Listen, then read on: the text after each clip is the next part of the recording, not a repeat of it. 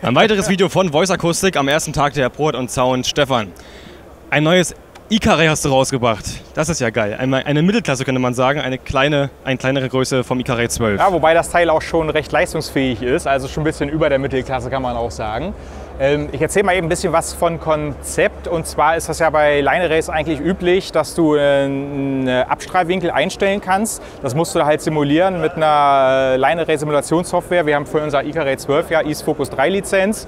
So, dann hast du einmal den Neigungswinkel, den du einstellen musst. Du musst eine Simulation machen, du musst richtig winkeln, du musst Shelving-Filter einstellen, je nach Arraylänge. Und äh, das ist für manche Anwender schon ein bisschen zu komplex, die sich damit nicht so beschäftigen oder nicht beschäftigen möchten. Und man hört ja auch in der Praxis viele schlechte Line-Array auf Konzerten oder auch in Festinstallationen, weil die Leute sich mit der Technik dahinter nicht beschäftigen. Das ist nicht so einfach. So, dann gibt es ja ähm, fest gekurfte Line-Arrays schon am Markt, ein bisschen, bisschen länger auch.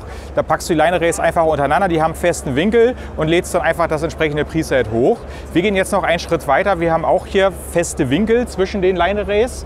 Aber wir haben nachher zwei verschiedene Gehäuseausführungen. Und zwar ist das Icarray 8, gibt es mit einer Abstrahlwinkel von 100 mal 15 Grad und nachher mit 100 mal 5 Grad. Und diese Modularität, äh, dadurch erreichen wir eine sehr hohe Flexibilität.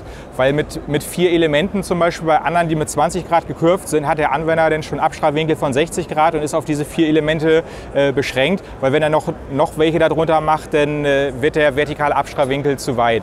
Und bei uns besteht ein Grundset, also also wenn man jetzt ein Bass und ein Icare 8 Element nimmt, dann nimmt man das 15 Grad Element, was man dann sehr schön auf die Zuhörerfläche ausrichten kann. Und wenn man äh, das Set erweitert mit zwei Bässen und zwei Elementen, so wie es hier steht, dann packt man oben ein 5 Grad Element und darunter ein 15 Grad Element und hat einen Abstrahlwinkel von 20 Grad insgesamt. So, und wenn man diese beiden Anlagen wieder miteinander kombinieren möchte, mit vier Elementen pro Seite, dann hat man oben zwei 5 Grad Elemente und darunter zwei 15 Grad Elemente und hat dann zusammen einen vertikalen Abstrahlwinkel von 40 Grad. Also da kann man schon einiges mit machen.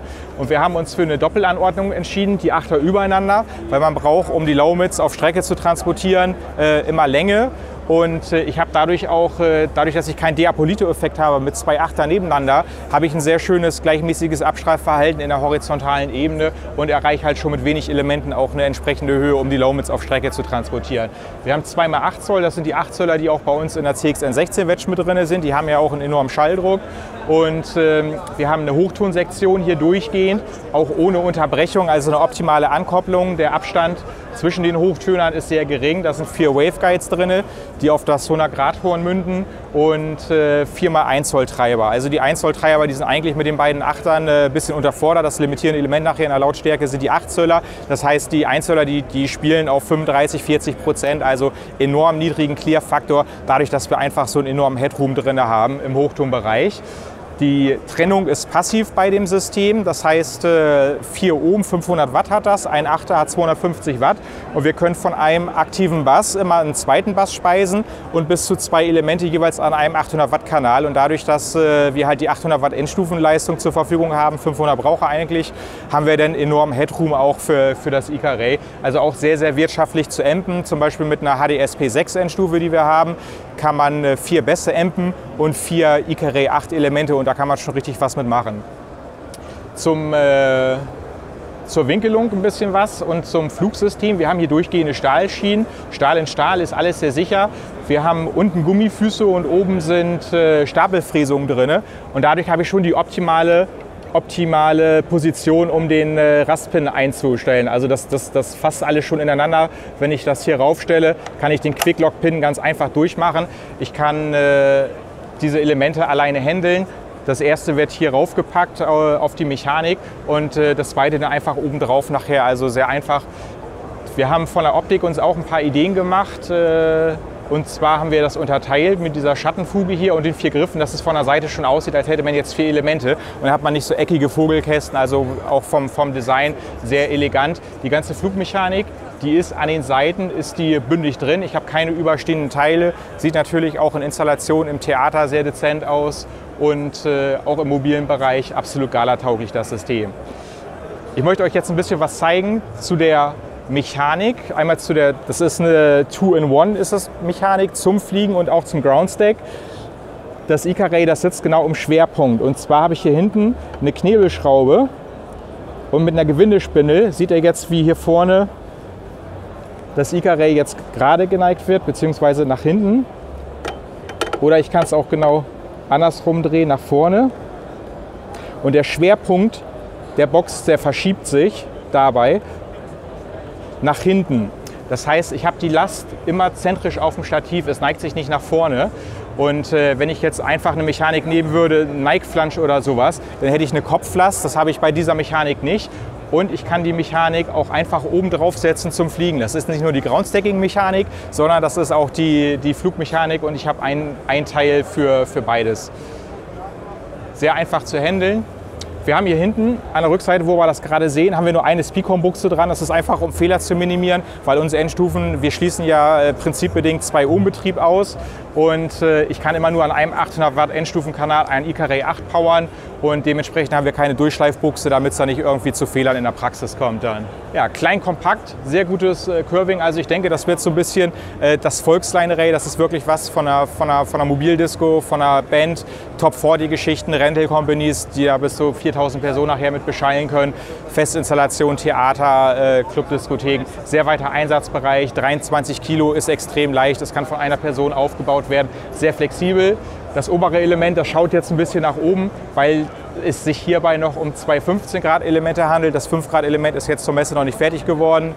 Und äh, also rundes, schönes System mit vielen Möglichkeiten. Das heißt, du sprichst mit diesen Line Array auch die etwas kleineren Venues an, die praktisch einfach mal schnell eine Anlage hinstellen müssen, die jetzt nicht sich in der riesen Materie da einfinden müssen, wie genau. zum Beispiel Soundvision oder irgendwelche Animationsdinge, SketchUp, was weiß ich und tatsächlich auch für äh, DJs, die auch mal in größeren Festzelten spielen, damit sie eben nicht willkürlich irgendwelche Boxen zusammenclustern, es zum Phasing kommt, zum Kampffiltern, was den ganzen Sound an, an, sich unerträglich macht. Genau. Also die Skalierung ist es ja immer sehr wichtig dabei. Das ist ja auch schon bei unserem LA-Stick so, den ich dann in der, in der horizontalen Achse skalieren kann. Oder die Modular 10, die ich, die ich äh, nee, die in der horizontalen clustern kann. Und das ist hier auch wieder so. Und ich kann es wirklich von der Beschallung mit 100 Personen einsetzen. Sieht immer noch einigermaßen dezent aus, bis hin zu, zu großen mit mehreren tausend Personen.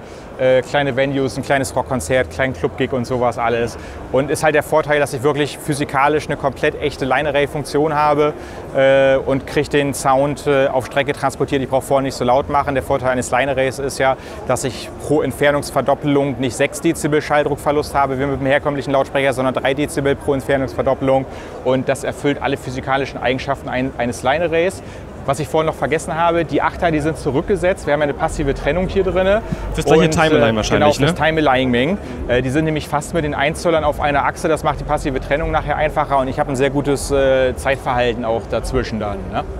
Die Gehäuse werden diesen oben und unten noch ein bisschen spitz zugefräst, dass ich wirklich einen ganz geringen Zeilenabstand habe zwischen den Lautsprechern. Es ist äh, Full-Range-fähig, wir haben eine Bassreflexabstimmung hier. Und zusätzlich durch den Rückversatz der Achter habe ich natürlich hier diesen kleinen, kleinen äh, Ohrenvorsatz und habe dadurch auch eine Sensitivity-Erhöhung. Also das Ding, das kann nachher auch richtig Brett machen. Ach, da, ne? Das ist schon, ist schon äh, Man sagt auch immer, cooles, Zeit ist Geld und mit Produkt. dem geht es wahrscheinlich super schnell und trotzdem super schnell, super Reichweite, super feine Auflösung im Hochtonbereich durch, durch die überdimensionierte Hochtoneinheit. Sehr großes Horn auch vorne dran, dass ich äh, wirklich eine konstante Directivity mhm. habe, gutes Rundstrahlverhalten, auch im Mitteltonbereich. Also ist wirklich so die eierlegende Wollmilchsau und ein vom, vom Einsteiger bis, bis zum Profi einsetzbar, das System. Ich bin so gespannt. Ich fahre ich fahr bald zu euch wieder. Ich will das Ding hören und zwar unbedingt. Ich war schon das, vom das Ding, das brennt uns auch so richtig unter den Fingernägeln. Also ich habe da richtig Lust auf drauf. Der, Score. ich war der schon Henry, mit dem ich da zusammenarbeite bei Entwicklung, der hat da auch richtig Lust drauf. Und äh, da sind viele, viele gute Ideen von uns allen eingeflossen, oh, muss man sagen. Ja. Ich will hören, will hören. Ich war schon beim CXN16 damals so begeistert. Ich liege das schon mit jedem in, die, in, den Ohren. Ja, wir wissen halt auch, was der Achter kann. Wir haben schon ja. Messungen Messung von den Hochtönern. Wir haben uns auch lange mit Hochtonsektionen beschäftigt, was wir da jetzt machen, haben wir wieder ein Sahneteil gefunden, was wirklich enorm viel Energie hat. Bis 20.000 Hertz läuft er fast linear durch. Also das vor allem klingt das System ja auch sehr ähnlich, denn wenn man halt immer die gleichen Treiber verwendet oder genau, halt die ähnlichen genau. Treiber, ne, die ja, vor allem, gemacht sind. Wir haben ja gesehen bei den Messungen von dem 8-Zöller, äh, wir haben ja jetzt äh, seit Dezember 2016 von allen Lautsprechern GLL-Files erstellen lassen bei Dr. Anselm Görz im IFA-Institut an dem Dreharm. Und da wird ja immer Max-SPL-Messung auch gemacht. Das heißt, der Schalldruck wird erhöht, bis der Lautsprecher 10% Klirrfaktor erreicht hat. Und dann wird, man, wird geschaut, wie viel Pegel macht er da. Und wir geben die Wedge mit 137 Dezibel an und gemessen mit 10% THD, also 10% Verzerrung, äh, hat die CXN 16 139 Dezibel. Das ist einer der lautesten Wedges äh, auf dem Markt und das halt in diesem kompakten Format. Und derselbe Achter von der Wedge, der steckt hier auch drin, also ist ein Sahneteil. Ne? Ist eine, eine Waffe. Waffe. wirklich. Genau. Also und das noch mit der, mit, der, mit der Aufladung hier ist schon, äh, ist schon lecker. Fantastisch, ich bin echt gespannt. Also man kann mir ja sagen, ein gelungenes Produkt aus dem Voice Akustik. Ja, wir freuen uns drauf.